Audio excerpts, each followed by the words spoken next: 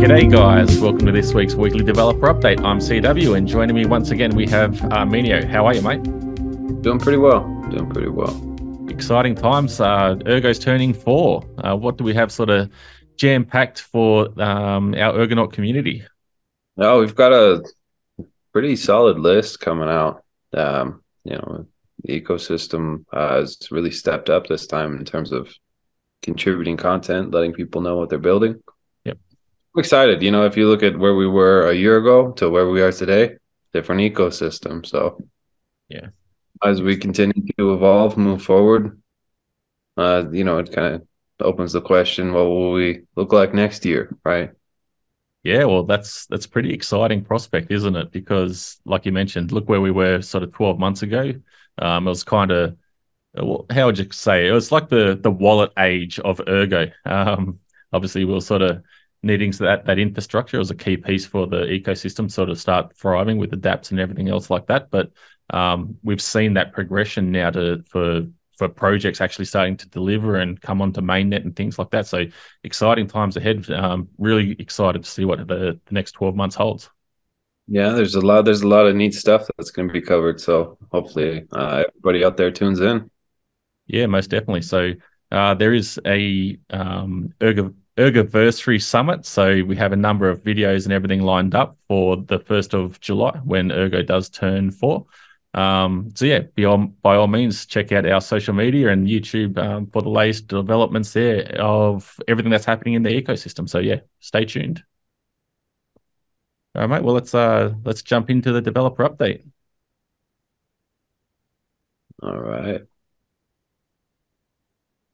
So kicking things off, we have Akos Marcus again, jumping in a little bit early. Um, so the latest developments on the Erg Explorer front. Uh, there's a Medium article, so you can jump on there and check it out. But in short, uh, the dollar values everywhere thanks to Spectrum Finance's API. ErgoPad staking investing info. Uh, rescraped all token data, so now showing the correct mint and current address for NFTs. Also added info if the NFT is burned. Uh, there's ASCII art tokens and then next up, rework the main page with more useful data and visual updates that will also allow for better display of some information. And as always, awesome. open source, so you can chuck on jump onto the repo. Great to see that community explorer come together. Yeah, most definitely. All right, next it looks like we have Alex uh, from the ecosystem core protocol uh, reference client development. Looks like he's reviewed PRs for 5.0 one three. And the ChatGPT plugin PR, uh, he's looking at playing with. Uh, reviewed um, both of those. I'm pretty excited to see what happens with the ChatGPT. That'll be interesting to see how that improves people's ability to work with Ergo. Yeah, most definitely. On say the development front, but then also um, the information like docs and things like that also. Yeah, yeah. There's there's a lot that that can be used as a you know it can be a powerful tool. Uh, looks like he also merged the latest changes in NIPoPoW and Sync version 3 PRs, working on bootstrapping with NIPoPoWs polishing there. And he reviewed a update to the Sigma State interpreter. Uh, on the Dexy, uh, fixed issue found in the intervention contract uh, reviewed and fixed protocol parameters, uh, some minor white paper draft updates, and put together some slides for the Ergoversary Summit. So, those of you out there that want to learn more about Dexy, it looks like Alex is going to make a video.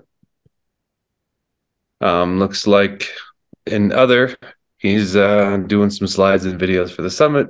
Takes a lot of time, as always. yeah, it's uh, one thing I found personally when I've started doing this sort of side of things is the amount of time and effort and everything that goes in behind the scenes for a, even say a 10 second, a 10 minute video. Um, it's yeah, fair bit of in, uh, information and time. So thanks for chucking that together, Alex. Scroll through all these links. And next up, we have greenhat.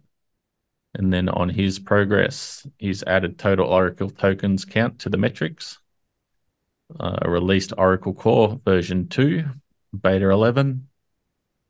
Finished the slides for the summit presentation. Great to see another one contributor there. So moved Node API key from the Oracle config YAML to Oracle Node API key environment variable.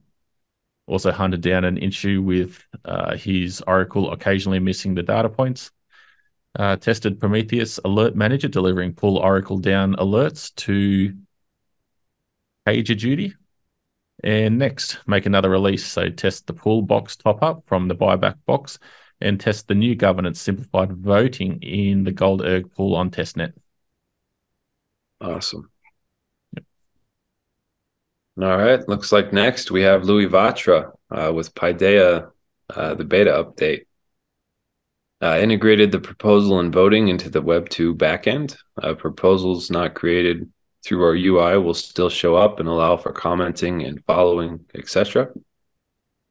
Uh, found a bug in the protocol proxy refund logic. We'll fix it before we open for public testing. Uh, created an endpoint to show transactions happening on the treasury of a DAO and giving them labels, deposit, withdrawal, staking operations, etc. That's pretty nice to see. I created an endpoint that takes a pay to script address and will return the contract name version and which DAO it belongs to, or unknown if it doesn't match anything. And staking front end uh, mostly implemented. Now proposals voting needs to be handled on the front end. Awesome. Yeah. Nice to see that moving along. So much anticipated uh, sort of infrastructure or, or project for the ecosystem where many people can utilize it. It's, it's a sign of maturity, I think. You know, a, a management tool. Yeah. Uh, sometimes management of crypto projects is just messy. That's a nice way to put it. That says it all. okay, next up we have MHS and the Rosen Bridge update. So on the TS Guard service, refracted version of the transaction agreements tested and available in GitHub.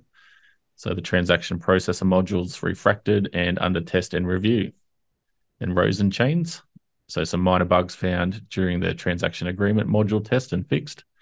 And new versions have been released. Uh, so on to the Watcher app and Guard app. Still working on the apps, so updates can be tracked in the GitHub repo and there's uh, a potential for a Sybil attacks in the current Watcher architecture. So they've modified it in order to mitigate such attacks, and will fix uh, and a fix will be implemented in the following days. So details will be provided later. Good to iron out, iron out all the details there.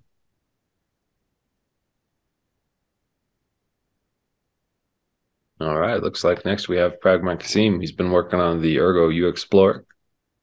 Uh, finished a few P- PRs in uexplorer that you can read about uh, at the following GitHub link. Uh, past work was and is mostly about performance, making sure that it is always under two to three hours, so uexplorer can evolve as a data model. And design changes require uh, re-indexing. The current work is about extending the data model with ergo tree, contract hash, and template hash, transactions, tokens, and registers. Awesome. Yep. Great to see work happening there. Okay, next we have Morphic. And on the Sigma side, release candidate version 5.0.9 is approved. I'll do it later. I'll do the release later, sorry. So it includes EIP5 contract template implementation also fixed cross compilation of ErgoScript compiler to JavaScript. So, however, there's a technical issue with the scalable type, uh, so which he doesn't know how to solve as yet. So, the main obstacle for having a pure JS ErgoScript compiler, compiler at the moment. Uh, so, help with this issue is very welcome. So, if anyone has any experience or knowledge there, by all means, jump out and give Morphic a hand. On the Ergo side, addressed and reviewed comments for the Ergo Node ChatGPT plugin integration. And then AppKit uh, version 5.0.3 has been released. And then next up, uh, publish Ergo script compiler to JS and implement the multi-sig in AppKit based on EIP11. Awesome. Uh, next, it looks like we have Ilya from Spectrum. So Spectrum Network, which you know, those of you that don't know, uh, the Spectrum team's kind of doing three things at once. They're building on Ergo, they're building on Cardano, and they're building their own layer two uh, network. So Spectrum Network has implemented broadcasting mini, mini protocol, uh, integrated broadcasting into aggregation flow for better consistency and fault tolerance, interoperability models and pipeline master and foreign chains. Uh, continues to work on Sigma aggregation for Byzantine case, work in progress. And building authenticated persistent storage of AVL trees is also a work in progress. Uh, for Spectrum Finance on Cardano, uh, the backend they've uh, looks like they've implemented Analytics API version one for the Cardano AMM. reward distribution system for LBSP, the work in progress. Uh, the Cardano AMM off-chain execution bots are under testing. And then he's put together some docs refactoring Cardano uh, off-chain execution bots documentation on the front end side of things. Uh, fixed the refund and deposit operation, uh, fixed the wrong fee calculation for the swap operation, uh, redesigned liquidity pools for the LBSP event, uh, minor UX bugs. Looks like that's a work in progress. Order history UX uh, is a work in progress. All wallet integrations is currently under testing uh, putting together a new token list, uh, Ergo token list, Cardano token list. Uh, projects are welcome to add metadata for their tokens. Plenty going on there on that front, isn't there? Like you said, yeah. the, the three sort of aspects on on where they're actually building, but yeah, multiple sort of um, fronts as well. Plenty going on. And speaking as such, LGD, um, got his fingers in many pies. And then so on GuapSwap, it's finished integration integrating the new Spectrum swap by V3 contracts. Started uh, started to rewrite contracts for the new architecture. So the two main features will be the following: uh, GuapSwap, so swapping mind erg for native erg ergo to, ergo aspect. Let me rephrase that: swapping Mind erg for native ergo assets on Spectrum got there in the end. So Guap drop, so being able to send your Mind erg to anyone you want. So kind of like an airdrop, hence the name. And then new architecture enables them to add new features in the future without affecting existing features. So, for example, it will be possible to integrate uh, FIMO. Uh, so the functionality in GuapSwap for any project interested in launching this way. That's a really interesting aspect, and I can't wait for the first project to launch in that way. Um, sort of really unique use case for proof of work. Yeah. Uh, so on the Lilium front, the front end for the new features is still in progress and hopefully launched by this weekend. So and then on to zenGate. So made initial cost estimate for transactions in traceability protocol. So we'll refine refine once the contracts are written and ex- exact box sizes are known on the V1 protocol high level design for traceability solutions, basically complete, and starting on the library setup and contracts this week. And then finally on the Blitz TCG, uh, still working on off chain code and starting the transaction bot this week. Lots going on there. Yeah, looks like next uh, Noah gave us an update from KrasaviceBlasen. Uh, those of you that don't know, he's working on duckpools, which is a peer to pool uh, lending protocol. So it looks like they're ready for private testing. It's been a busy week preparing the UI for private testing, and we are pleased to announce that things are ready to go. Uh, testing will be conducted and discussed in Discord. If you're eager to participate, uh, please see our latest Discord announcement. Initially, we'll be testing the full launch contracts for the ERG pool, proceeding with the SigUSD pool roughly one and a half weeks later finally the SigRSV and the Quacks pool. So those of you out there that uh, want to hop onto the duckpools Discord and help them break, refine, and uh, perfect their uh, build, please participate. Yeah, most definitely. And just a little bit further as well, uh, scrolling down, Noah's provided the link to their Discord. So if you're interested, jump on there. Okay, scrolling down, uh, we have dEathgripson then Adelaide on Analog Ergo. So finished building and testing custom lock time and refund functionalities. Added threading to in, uh, to intensive operations for preventing uh, GUI freezes. Also updated Solidity contract to take the modular lock time parameter and then starting on automatic claim refund feature. Sweet. All right. It looks like next uh, we got a little update from MGpai regarding ErgoNames. Uh, he's adding front running fixes and getting UI UX Figma render done. Sweet. Scrolling down, I think that's everything. It's great to see lots happening in the ecosystem as always. Um, I know a, lot, a number of the contributors who have actually provided updates this week are, are providing updates and um, submissions to the Ergoversary Summit, which, um, yeah, like we touched on in the intro, by all means, jump on and, and um, take a keen interest there and see what's happening in the ecosystem. Yeah, I'm excited to see it.